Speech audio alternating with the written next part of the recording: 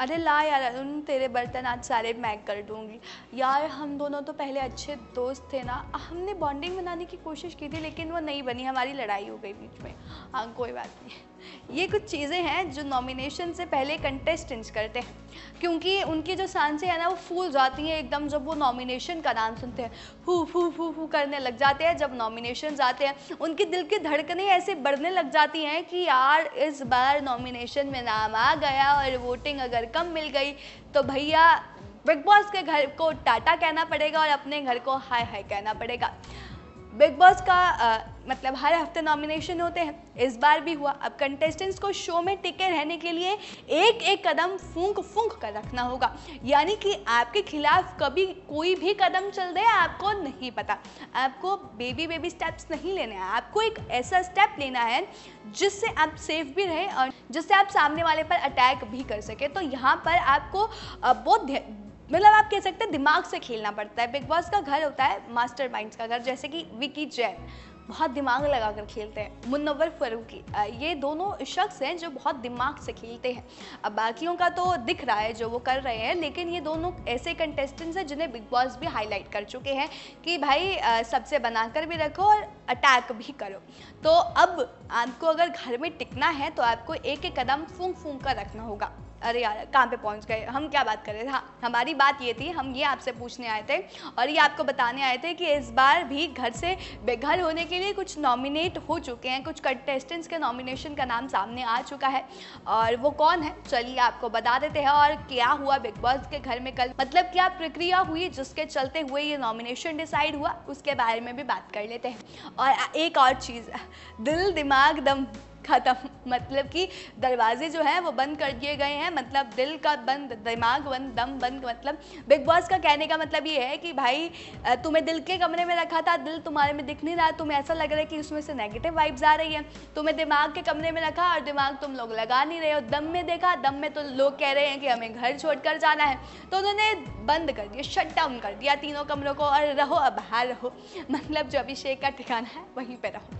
चलिए ये तो था, तीनों घर जो है उन्हें बंद कर दिया गया। उसके बाद बिग बॉस ने कहा कि सब अब बाहर आकर रहो और उसके बाद आपको बता दें कि नॉमिनेशन राउंड हुआ, यानी कि बीबी कॉफ़ी शॉप जिसके ऑनर रखे गए नील नील क्योंकि वो हर आप कह सकते हैं कि हर वीक के लिए एलिमिनेट हो चुके हैं। पूरे सीज़न के लिए उनको एलिमिनेट किया जैसे कि राउंड हुआ था आ, पिछले एपिसोड में जैसा कि हमने देखा मतलब पिछले हफ़्ते देखा और जिसके चलते हुए नील को हमेशा के लिए एलिमिनेट कर दिया मतलब नॉमिनेट कर दिया है तो नील को उस शॉप का मालिक बना दिया गया। तो अब यहाँ पर करना क्या था? बेसिकली एक एक बंदा आएगा, उसकी कॉफ़ी बनेगी, हर एक कंटेस्टेंट्स की तो वो वहाँ पे जाके खड़ा हो जाएगा। तो जिस इंसान को मतलब जिस कंटेस्टेंट्स को उस, यहाँ पे जो खड़ा है, उसको नॉमिनेट करना है, उसके मुँह पर ऐसे कॉफ़ी मारनी होगी, ठीक है? और आए एक एक करके सब आए और बहुत ही अच्छा यहाँ पर देखने को मिला, बहुत लड़ाई और सबसे हैरानी वाली बात तो ये हुई, बताएँगे क्या क्या हुआ, कैसे वक्त बदला, कैसे जज्बात बदले, कैसे सब कुछ बदल गया एक दूसरे के लिए मतलब जो दोस्त थे उन्होंने भी नॉमिनेट करने के लिए वो आगे आए और कॉफ़ी मारी। चलिए इस पर बात करते हैं, लेकिन बता दें कि बिग बॉस सत्रह में जो सबसे मज़बूत खिलाड़ी हैं और उनमें जो दो सेलेब्स हैं, अब तक वो सबसे आगे रहे हैं। इनमें नाम आप लेंगे, हम लेंगे अंकिता और मनोवर का, क्योंकि अंकिता और मुनवर दो ऐसी हस्तियाँ हैं जिन्हें लोग बाहर भी जानते हैं और बहुत सारे उनके फैंस उनसे जुड़े हुए हैं। तो ये दो नाम हैं। अंकिता, पिछले नॉमिनेशंस में नॉमिनेट हो चुकी है। मतलब हर बार उनका नाम नॉमिनेशंस में सामने आया है। लेकिन मुनव्वर को अब तक कोई भी फंसा नहीं पाया। हालाँकि इस बार वो ज़ोर नहीं चला और उल्टा हो गया। मतलब अंकिता जो हमेशा से नॉमिनेट होती हुई आ रही थी, वो इस बार नॉमिनेट नहीं हुई और मुनव्वर जो हमेशा से बचते हुए आ रहे थे, वो अब फंस गए हैं। मतलब इस बार उनका जो दिमाग था, वो शायद नहीं चला। आपको बता देते हैं कि बिग बॉस में कौन कौन इस बार घर से बेघर होने के लिए नॉमिनेट नॉमिनेट हुआ है। इसमें नील भट्ट जो हमेशा के लिए है। मुन्नवर फारूकी का नाम आया, अनुराग डोभाल का नाम आया, विकी जैन का नाम आया, खानजादी का नाम सामने आया, अभिषेक कुमार का नाम सामने आया। सना रईस खान है, अरुण श्रीकांत महाशेटी है। इन सब के नाम इस बार घर से बेघर होने के लिए नॉमिनेटेड है। और बात कर लेते हैं। अब यहाँ पर आपको बताया कि नॉमिनेशन स्पेशल हुआ और उसमें सबने जिन्हें जो नहीं पसंद, उन्होंने उनका नाम लिया और ये सब लोग नॉमिनेटेड हुए। लेकिन यहाँ पर जो बात सबसे ज़्यादा ट्रिगर की जब यहाँ पर सीन चल रहा था खानजादी को डांट पड़ रही थी या किसी चीज़ को लेकर, क्योंकि उनको तो पढ़ती रहती है, क्योंकि वो बोलते हैं, मुझे शो का हिस्सा बनना ही नहीं है। तो वहाँ पर सपोर्ट करने कौन आती है? सपोर्ट करने आती है मन्नारा।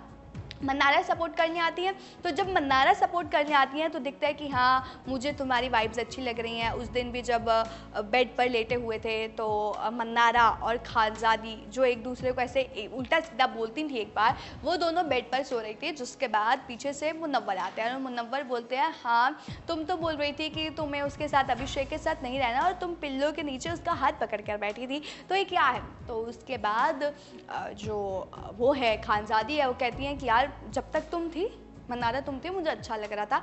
लेकिन द पॉइंट मुनवर आया तो मुझे वो चीज़ अच्छी नहीं लगी कि आ, मतलब हमने तो हाथ पकड़ा भी नहीं था और उसने वो क्यों बोला? तो अब मुझे अच्छी वाइफ नहीं आ रही तो वो उठ के चली जाती है वो एक अलग इंसिडेंट था। लेकिन यह बात है कि आप पता है जब खानजादी को यहाँ खड़ा किया गया कि कौन कौन उन्हें नॉमिनेट करना चाहता है तो मन्नारा मन्नारा, वो मन्नारा, जो उनके साथ जिन्होंने उन हग किया था, उनको बोला था मतलब पहले नहीं, कुछ दिनों की, पहले की बात है। मेरे को लगता है यहाँ पर लोगों का मानना है कि मन्नारा भी अच्छी गेम खेल रही हैं। यहाँ पर पहले बातों में फिसलाती हैं और उसके बाद ओवर तो यहाँ पर मन्नारा उठ कर आई और सब शॉक्ड कि यार मन्नारा आई। वो भी खानजादी को करने क्योंकि दो तीन दिन पहले देख, देखा गया था कि she was very nice to her और अब वो उसको ही नॉमिनेट करने आ गई है। तो उन्होंने बोला मन्नारा ने बोला अभी भी कॉफ़ी मेरे हाथ में है ठीक है? तुम इस घर में रहना चाहती हो या नहीं? तो मन्नारा का यहाँ पर पॉइंट होता है कि तुमने बोला था कि तुम घर में रहना नहीं चाहती हो तो मैं उस वजह से तुम्हें नॉमिनेट करने आई हूँ कि तुमने बोला है कि तुम्हें घर में नहीं रहना बिग बॉस मुझे घर जाना है तो उस वजह से शायद आ, मुझे लगा कि ये करना चाहिए था। तो वो बोलती है कि इस पॉइंट पर मंदारा बोलती है इस पॉइंट पर तुम्हें क्या लगता है कि आ, मतलब कॉफ़ी अभी तक मैंने मारी नहीं है मतलब अभी तो तुम्हें नॉमिनेट नहीं किया। तो कहती हैं कि मुझे इस वक्त ये फील हो रहा है खानजादी मुझे कहती हैं कि मुझे इस वक्त ये फील हो रहा है कि आपके हाथ में कॉफ़ी है और आप ये मुझे मार दो। तो यहाँ पर अब फिर लड़ाई होती हुई दिखेगी। मन्नारा और खानजादी के बीच में जो कि देखना होगा कि मन्नारा पहले आती हैं, खानजादी के पास उनको बातों में उलझाती हैं और उसके बाद उनको ही नॉमिनेट करने चली जाती है। ऐसा और भी बात हुआ है कि आप सामने से कुछ और, पीछे से कुछ और।